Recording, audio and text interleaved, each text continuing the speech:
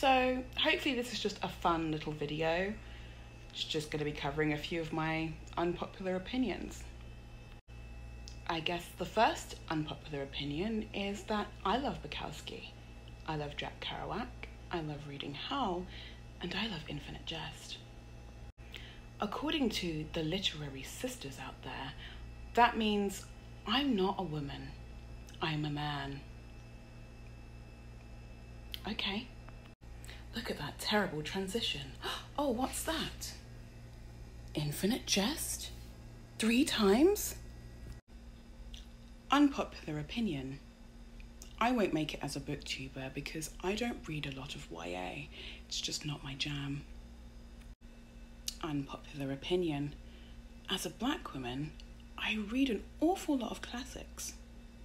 But I think that has more to do with my upbringing. And I just like the writing style.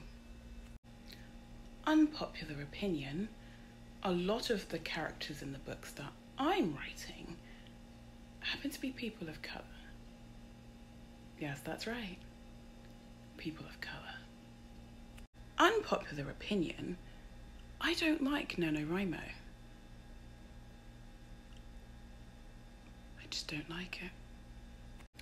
There is obviously a reason for that. I've never really been one for systematic testing or anything. My brain is just far too creative and far too wild, and I need control. So, NaNoWriMo is about controlling how many words you can get written in a month.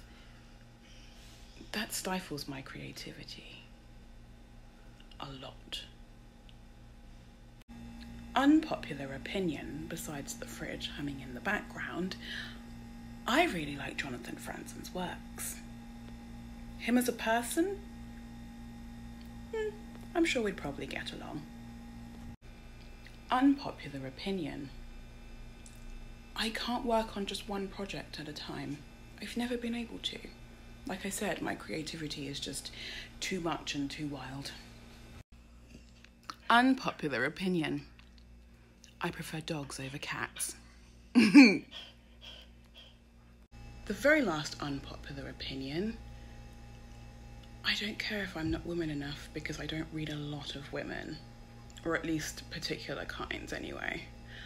I always thought that Jane Austen was a bit overrated.